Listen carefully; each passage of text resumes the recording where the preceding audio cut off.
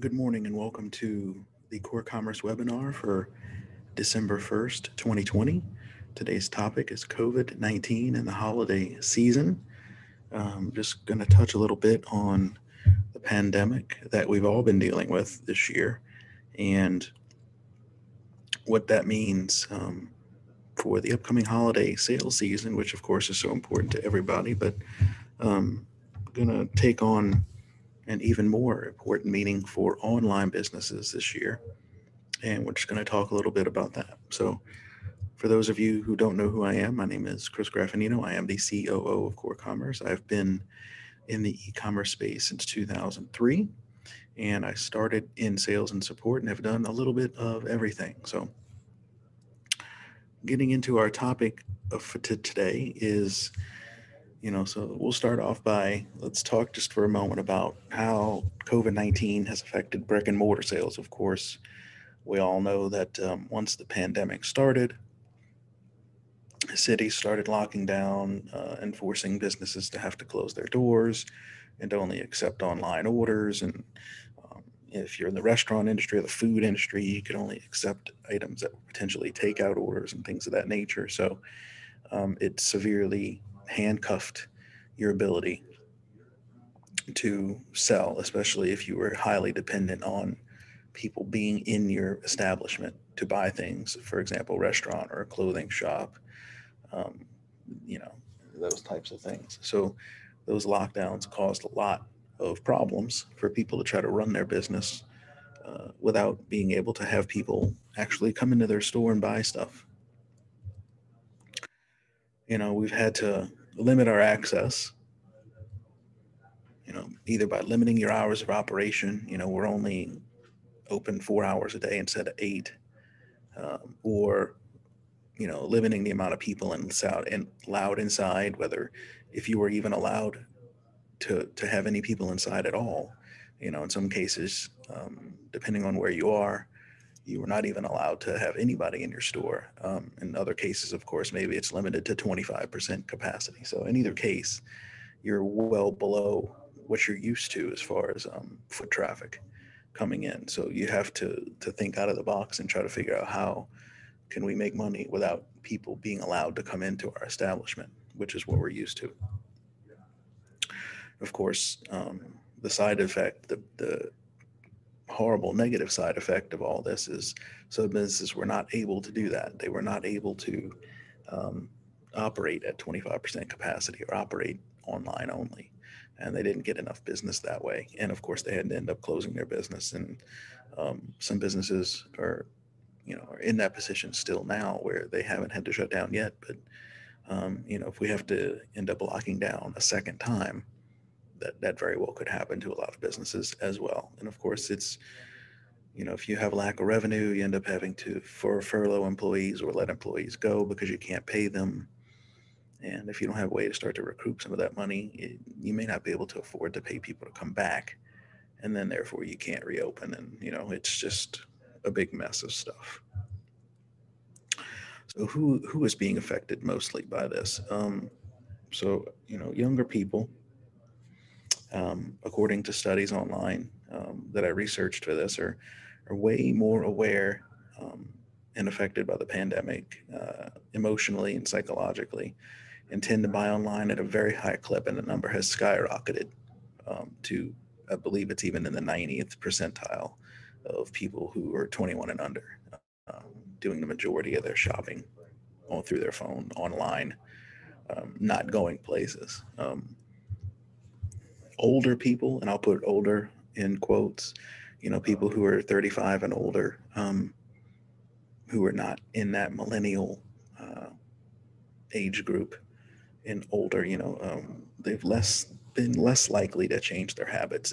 There has been a change, um, but it's more in the 20 to 25 percent range, where you know people who are 35 and or my age, which is mid you know mid 40s, um, are in a situation where you know they they're not as i guess afraid um, to to kind of go out in public and they're less affected emotionally by it.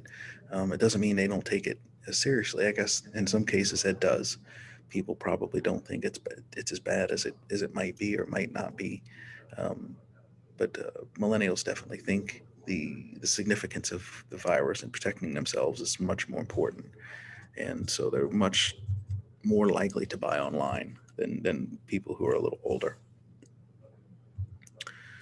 Um, so for businesses like like yours, um, the solution is we got to figure out how to get people to buy online even more than they do today, right? Whether you know that's opening an online store if you've never had one before, or doing some additional marketing to to make sure you, your business is um, seen, you know, online. You know, you may have been in a position before the pandemic to where maybe five percent of ten percent of your sales came online. And now you're hoping to make it 100% of your sales are online right? But you don't want the revenue drop off. So how do you increase your online sales 20 times over? Um, you know to try to cover the the revenue loss you're expecting um, from from the pandemic and the restrictions on people being able to come into your business right so um, the big side effect obviously you know buying online even more has has spurred these industries that were already uh, getting pretty popular. They've really just skyrocketed um, as a result of what's going on with the pandemic, right? So it's whether it's a grocery delivery service um, or picking up your groceries at Walmart outside of the outside of the establishment versus having to go in and shop, right? Um, I know Walmart does it, Kroger does it, Target does it um, food delivery services like Uber Eats and Grubhub and Postmates have all exploded, right? Because people are staying home and ordering food as opposed to going out and picking it up, which might save them a few dollars, but it's worth three or four extra dollars to have somebody bring it to them, right?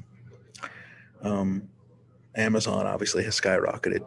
People were already using Amazon a ton, and that just went up even more and just buying things online in general, even if it's not from Amazon, just being willing to go to websites and purchase from them um, versus, oh, I'll go buy the version I see at the store at Walmart, or I'll go buy the version, you know, because I don't want to actually go in the business.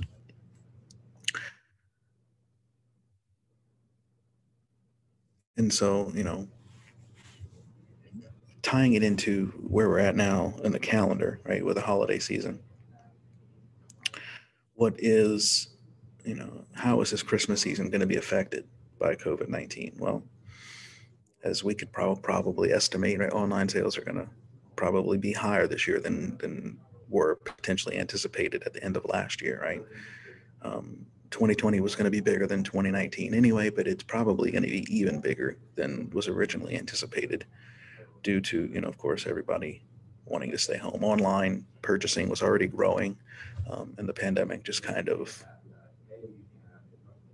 injected, uh, for lack of a better term, you know, just it just made that made that possibility skyrocket, made it much more convenient and beneficial, you know, from an emotional standpoint to to buy online and not have to be around people, not have to worry about socially being socially distant and wearing a mask around people. You can just stay home and order, right? So now it's even more convenient um, to do that than it ever was previously. Um, so one thing as, as an online store merchant using a, using a CoreCommerce platform that you can do is if you don't do it already, you know, by, by switching and offering free shipping, um, you know, many people love Amazon because they can do free shipping all the time. So if you can find a way to incorporate that concept into what you sell, whether, you know, let's say you, you increase all the prices of all your products by one or two bucks and then do free shipping or you know whatever you whatever the mode is free shipping if you spend over 50 bucks free shipping if you spend over 40 bucks. Um, doing anything like that to minimize the shipping and giving people shipping for free is is more convenient and economical uh, decision for you as a business owner versus you know lowering the margins on the items you sell right?